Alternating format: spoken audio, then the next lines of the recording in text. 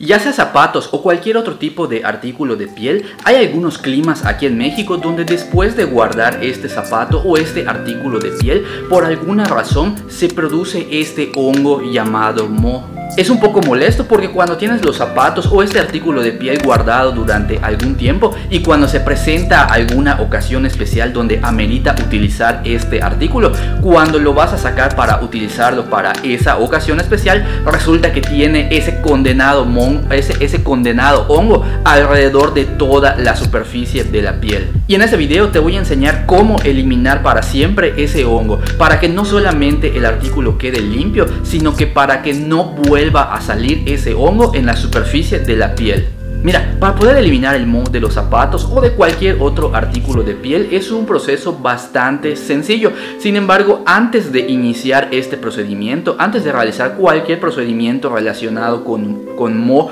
o con cualquier tipo de hongo o, de bacteria, siempre te recomiendo tener eh, una mascarilla protectora para proteger tanto boca como nariz, puesto que como estamos tratando con hongos, es muy importante tener lo que son en las vías respiratorias siempre protegidas, pues si respiramos este hongo puede llegar a ser muy, eh, muy peligroso para la salud. Una vez teniendo puesta la mascarilla protectora es bastante sencillo. Lo único que vamos a hacer para eliminarlo completamente de la superficie es utilizar este pequeño producto de la marca de Columbus llamado Leather Cure.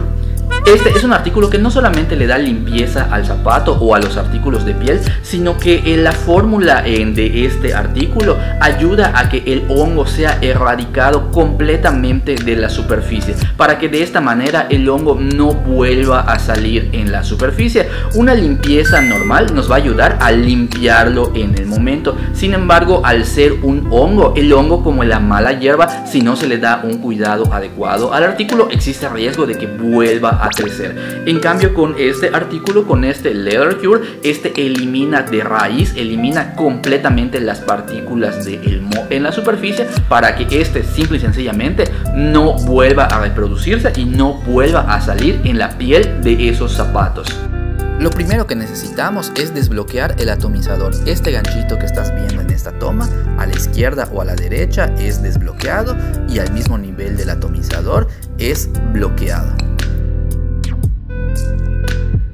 Simple y sencillamente lo que vamos a hacer es aplicar el Leather Cure directamente sobre la superficie del zapato como estás viendo en este video. Aplicarlo directamente sobre la superficie y posteriormente utilizar algún paño seco y secar la superficie con este paño seco para que el Leather Cure haga el efecto y limpie completamente la superficie del zapato. Posteriormente a esto, de la misma manera como cuando utilizamos jabón de calabaza, siempre debemos debemos dejar que el zapato seque completamente. Posteriormente, cuando el zapato esté seco, te recomiendo aplicar una segunda capa de Leather Cure, aunque el moho ya no se aprecia en la superficie. Sin embargo, esta segunda aplicación es recomendable para eliminar totalmente el moho, toda la bacteria que se encuentre en la superficie y de esta manera con esta segunda aplicación garantizar que el moho ya no vuelva a salir en la superficie del zapato.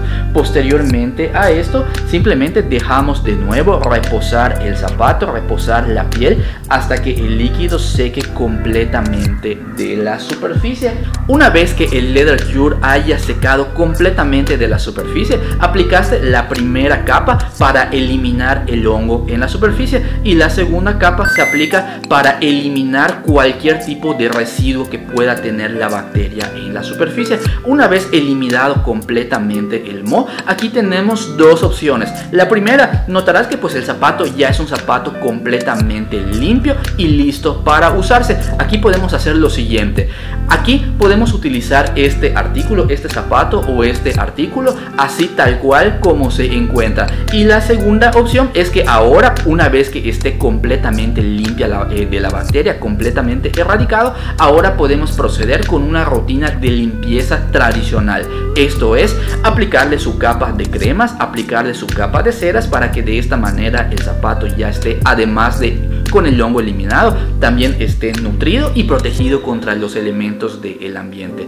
De esta manera es como vas a ayudar a que ese zapato ya no vuelva a tener esa bacteria en la superficie. Y como consejo adicional, posteriormente a esta limpieza para eliminar completamente el moho y esta limpieza tradicional, te recomiendo guardar los zapatos en una, mantener una rutina de guardado en un, ya sea en un cubrepolvos o en una caja especial para zapatos, puesto que nosotros al vivir en un clima húmedo, de esta manera, adoptando esta rutina de proteger adicionalmente los zapatos, esto nos va a ayudar a prevenir a que este hongo no vuelva a, a producirse en la superficie de los zapatos. Espero que los consejos compartidos en este video te sean de utilidad. También te comento que cualquier duda que tengas relacionada al mundo de la zapatería, te invito a que me la escribas en la caja de comentarios. Todos los comentarios los leo y las preguntas más interesantes son las preguntas que voy a reservar para utilizarlas en próximos videos. Y si después de mirar este video te preguntas, ok,